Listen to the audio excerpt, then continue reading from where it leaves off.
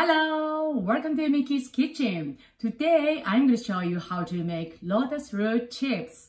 Lotus root is said to be auspicious because it has holes through which you can supposedly see a good future.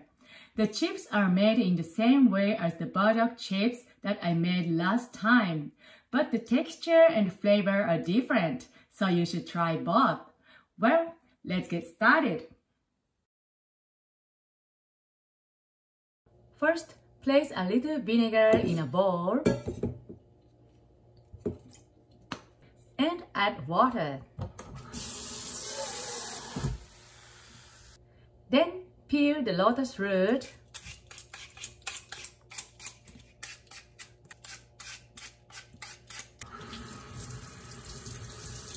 and slice it.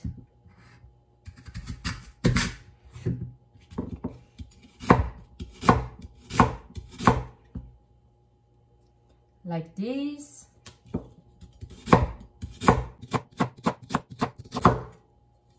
And soak them into the vinegar water for about 10 minutes to prevent them from discoloration.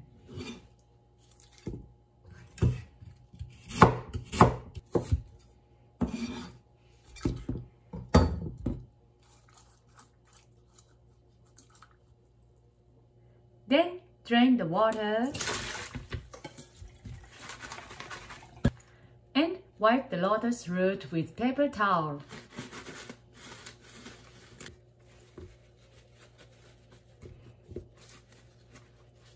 Now put them into the vegetable oil and heat on medium heat.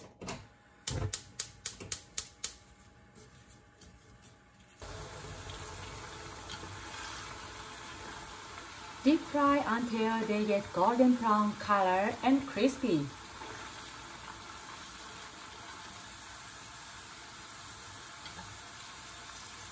Okay, take them.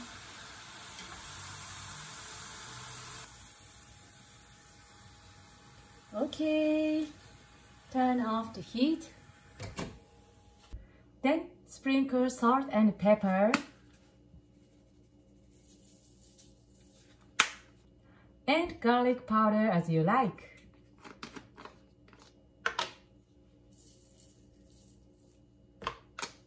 Then serve the chips in a cup.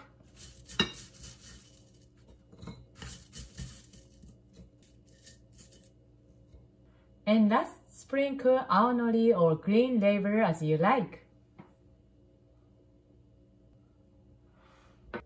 Okay, that's it. It's time to eat. いただきます。